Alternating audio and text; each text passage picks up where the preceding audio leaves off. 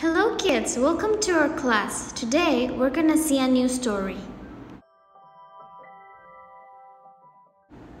This is the story of Obie Okapi. You can use your pace of word building or animal science. Page 9. Obie Okapi lived with his family far from the other animals, in a remote part of the jungle. Okapis are a lot like giraffes. Okapis are tall and have creamy white stripes on their legs. Although okapi are not exactly unfriendly, they do choose homes away from the other animals.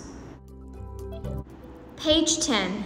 One day, all the young okapis were together in a clearing in the jungle.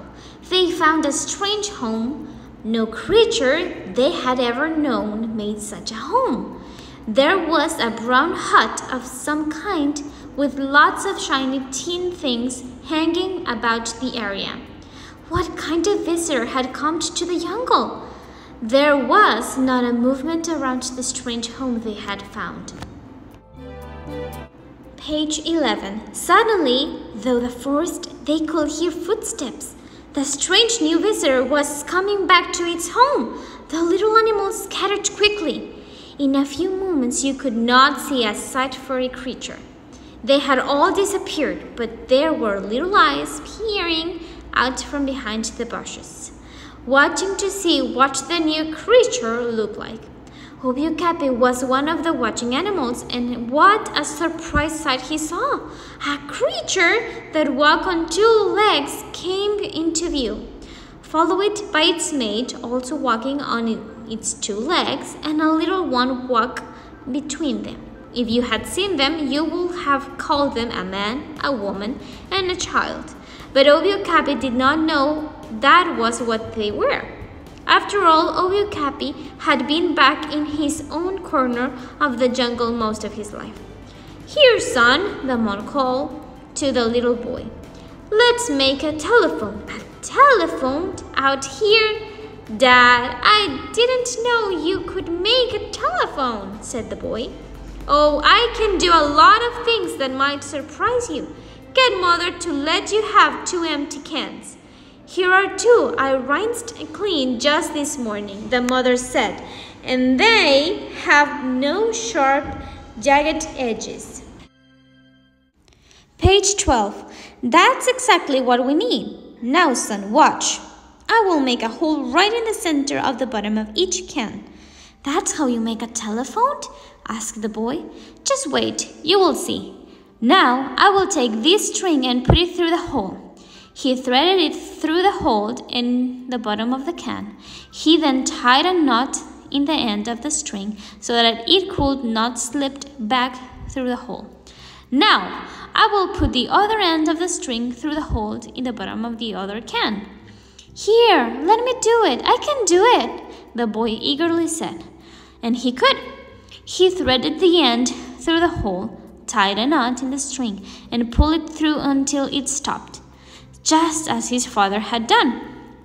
Now, son, our telephone is ready to be used. That's a telephone? Dad, you're teasing me. No, I'm not. Here, you take this can and run over the edge of the clearing until the string is stretched tightly. Then, put the can to your ear and listen. Page 13. The boy did as his father said. He put the can to his ear just as if it were a telephone. Holding the string tight, the father placed his can to his mouth. Hello, son. The boy let out a whoop. I can hear you. I can hear you, he yelled. Dad, you did make a telephone. Don't yell, son. Use a telephone.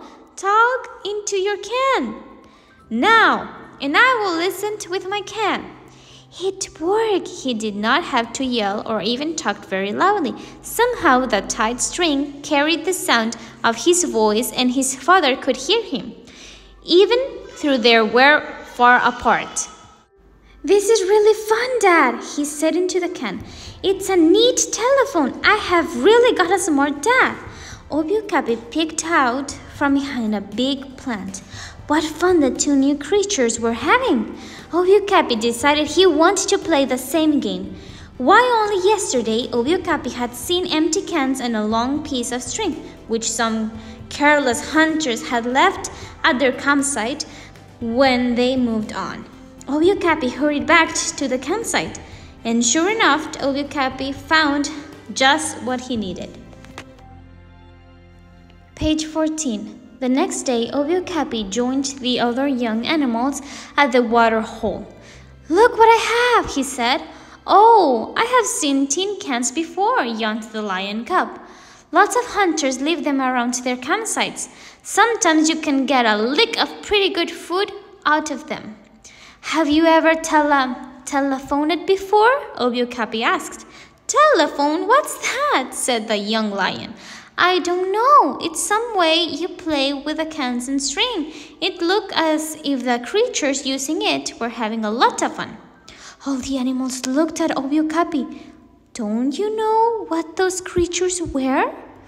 No, said Obie Okapi. We don't have any like that where I live. That was a man, Obie Okapi. You have to be careful of creatures like that. Well, they look happy. That's all I can say.